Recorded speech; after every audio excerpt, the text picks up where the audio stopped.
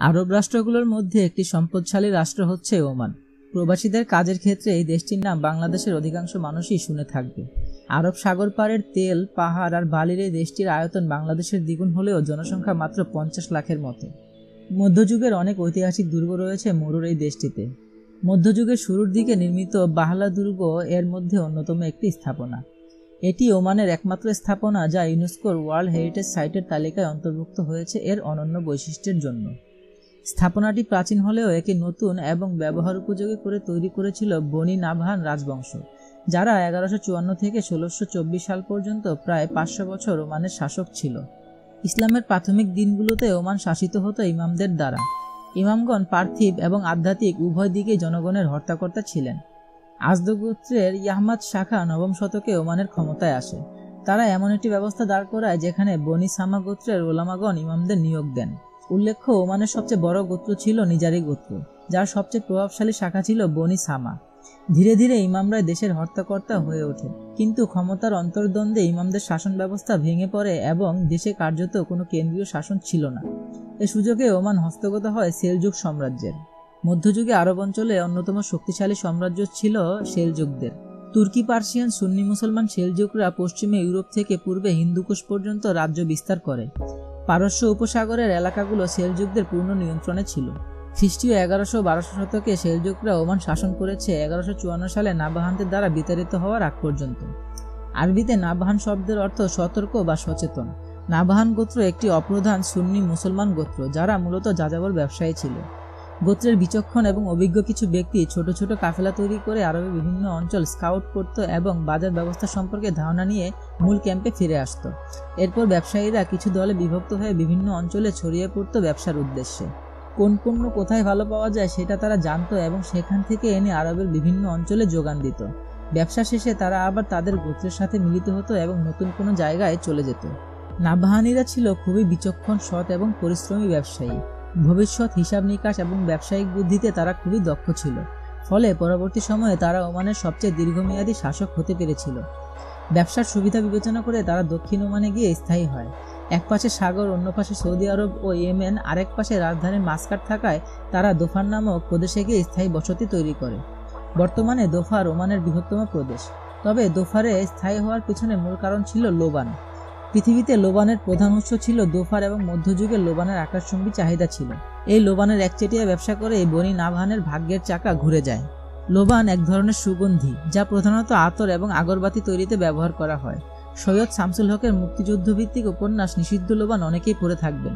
মধ্যযুগে এই লোবান নিষিদ্ধ তো নয় এই বরং ব্যাপক চাহিদার পণ্য ছিল। কারণ ইসলামী শাসনের সূর্য তখন মধ্য গগনে আতর তথা সুগন্ধির চাহিদা ও প্রসার তখন বিশ্বব্যাপী। সুগন্ধি তেল হিসেবেও লোবান গাছের নির্যাস ব্যবহৃত হতো, যার চাহিদা ছিল সার্বজনীন।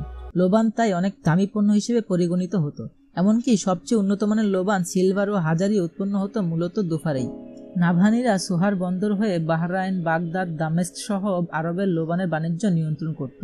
এভাবে বনি নাভান গোত্র প্রচুর অর্থনৈতিক সমৃদ্ধি লাভ করে।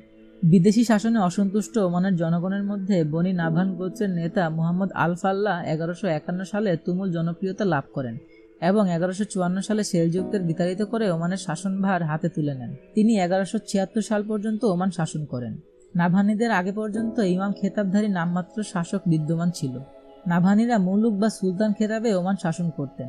চোদ্দশো ছয় সালে ইমাম মুসাবিন আবু জাফর মারা যাওয়ার পর ইমাম খেতাব তখনকার মতো বিলুপ্ত হয়ে যায়। নাভানি শাসকদের রাজধানী ছিল বাহলা, যা মাস্কাট বন্দরের খুব কাছেই। ইসলামী যুগের পূর্বে বাহলার ইরানি শাসক ছিলেন তাম্মাহ, আর তার নামানুসারে বাহলা দুর্গের নাম ছিল হিসনে তাম্মাহ। এখানে উল্লেখ্য, বাহলা দুর্গ প্রথম কে নির্মাণ করেছিল তার দলিলাদি পাওয়া যায়নি। নাভান শাসনের আগে বাহলা দুর্গ কাদামাটি এবং অপর্যাপ্ত পাথর দিয়ে তৈরি সাময়িক স্থাপনা হিসেবে ছিল। নাভানি শাসকরা একে নতুন করে মজবুতভাবে তৈরি করেন। দুর্গের ভেতরে একটি জামে মসজিদ আছে, যার মেহরাবে চোদ্দ শতকের কথা খোদাই করা আছে। বাকি স্থাপনাগুলো ঠিক কত সালে নির্মাণ বা সংস্কার করা হয় তার সুনির্দিষ্ট দলিলাদি পাওয়া যায়নি। যেহেতু নাভানিদের মূল শত্রু ছিল পারস্য উপসাগর পেরিয়ে হামলাকারী হরমুদ সাম্রাজ্য বা সেলযুগরা তাই নাভান শাসকদের দেশের বিভিন্ন স্থানে শক্তিশালী দুর্গ নির্মাণ করতে হয়েছিল। পনেরো শতকে এসে নাভান শাসকদের প্রতিপত্তি কমে যেতে শুরু করে এবং ইমামদের পুনরুত্থান ঘটে। পনেরো শতক হতে সতেরো শতকের প্রথমার্ধ পর্যন্ত ওমানে একজন নির্বাচিত ইমাম এবং একজন নাবহান বংশীয় সুলতান যৌথভাবে ক্ষমতায় থাকেন। পনেরোশো সাত সালে পর্তুগিজরা মাস্কাট, সোহার ও পার্শ্ববর্তী উপকূলীয় এলাকা দখল করে নেয়। এর ফলে নাবহান ব্যবসায়ীরা তাদের পণ্য পারস্য অঞ্চলগুলোতে পাঠাতে সমস্যার সম্মুখীন হতে থাকে এবং পর্তুগিজরা দক্ষিণের সুরবন্দর দখল করে নিলে নাবহান শাসকরা রাজনৈতিক ও অর্থনৈতিক দিক থেকে ব্যাপক ক্ষতির সম্মুখীন হয়।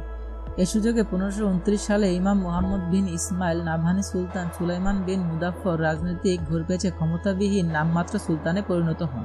কিন্তু ইমামগণের শাসনকার্যে অযোগ্যতার কারণে ওমান খুব দ্রুত পর্তুগিজদের দখলে চলে যায়। ষোলোশো চব্বিশ সালে ইয়ারুবা শাসক নাসির বিন মুর্শিদ পর্তুগিজদের কাছ থেকে ওমান দখল করে নেন। বনি নাভান গোত্র এরপর বনি রাগুয়াহা এবং বনি রিয়াম গোত্রের সাথে একীভূত হয়ে যায় এবং সম্মিলিত গোত্রের নাম হয় বনি রিয়াম, যার প্রধান ছিল বনি নাভান গোত্রের। ইয়ারুবা শাসনামলে তারা পর্বত বেষ্টিত জাবাল আল আখদার রাজ্য গড়ে তোলে এবং ওখানেই বসবাস করতে থাকে। এরপর উনিশশো চুয়ান্ন সালে ব্রিটিশদের মদদে ওমানের সুলতান সাইদ বিন তৈমুরের বিরুদ্ধে নির্বাচিত ইমাম গালেব আলহানির গৃহযুদ্ধ বাঁধে। এ যুদ্ধে অন্যান্য আরব দেশের পাশাপাশি বনির ইয়ামের Sheikh Sulaiman bin Himyar al Nabahani ইমামদের পক্ষ নিয়ে উনিশশো ছাপ্পান্ন থেকে সাতান্ন সালে জাবাল আল আখদারে যুদ্ধে পরাজিত হয়ে সৌদি আরবে নির্বাসিত হন এবং উনিশশো আটানব্বই সালে মারা যান। মজার ব্যাপার হচ্ছে, ইয়ারুবা গোত্র আদি বনি নাভানের একটি শাখা গোত্র এবং ইয়ারুবা শাসকগণ পরবর্তীতে ইমাম খেতাব নিয়ে ওমান শাসন করেন। নাভানিরা ইবাদিজম নামক ধর্মদর্শনের অনুসারী ছিলেন, যা এখনও ওমানের মূল ধর্মদর্শন।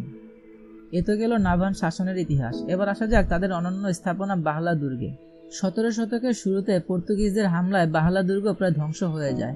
জাবাল আখদার যুদ্ধে স্থানীয় ওমানিরা যারা ইমামের পক্ষে ছিল, তারা এই দুর্গে ঘাঁটি করে এবং উনিশশো সাতান্ন সালে ব্রিটিশ বিমানের বোমা হামলায় দুর্গটি প্রচুর ক্ষতির সম্মুখীন হয়। ফলস্বরূপ, উনিশশো সত্তরের দশকে দুর্গটি ভেঙে পড়ার উপক্রম হয়। তখন বারো বছরের একটি প্রকল্পের মাধ্যমে দুর্গটির স্থাপনাগুলো পুনরুদ্ধার কার্য সম্ভব হয়। বাহালা দুর্গ তৈরি করা হয় মূলত জারবিন নামক মরুদ্যান এবং সিরিয়া ও ইরাকের লোবান বাণিজ্য পথকে রক্ষা করার জন্য। জাবাল আখদার পর্বতের পাদদেশে বড় পাথরের দেয়াল দিয়ে ঘেরা দুর্গটির আয়তন আট বর্গ মাইল। দুর্গটির সীমানা সংলগ্ন বিভিন্ন উচ্চতার অনেকগুলো টাওয়ার রয়েছে, যার প্রত্যেকটিতেই সরু চেরা জানালা বা ঘুলঘুলি আছে। এগুলো থেকে আক্রমণকারীদের উপর গলিত সীসা ঢেলে দেওয়া হতো। বাহালা দুর্গে চারটি গোলাকৃতি মিনার রয়েছে, যেখান থেকে অনেক দূর পর্যন্ত পর্যবেক্ষণ করা যেত। দুর্গটি প্রধানত তিনটি ভাগে বিভক্ত। আল কাসাবাহ দুর্গের সবচেয়ে পুরাতন অংশ, যা মধ্যযুগের প্রাথমিক পর্যায়ে নির্মিত। বায়তুল হাদিদ অংশটি ষোড়শ শতাব্দীতে নির্মিত সবচেয়ে সুরক্ষিত অংশ এবং বায়তুল জাবাল অংশটি পাহাড় সংলগ্ন, যা সপ্তদশ শতাব্দীতে নির্মিত। দুর্গের নিচে বিশাল ভাড়ার বা শস্যাগার রয়েছে, যেখানে জাবরিন মরুদ্যান থেকে খেজুর এনে মজুত করে রাখা হতো। এখানে অনেকগুলো ঘরবাড়ির সাথে দুটি প্রাচীন মসজিদও রয়েছে।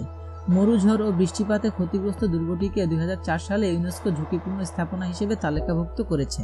পর্যটকের জন্য উন্মুক্ত ওমানের রাজধানী মাস্কাট থেকে গাড়িতে দু ঘণ্টার পথ বাহালা দুর্গের ভেতর মরুদ্যানটি ফালাদ সেচ প্রকল্পের মাধ্যমে সারা বছরই সবুজ থাকে।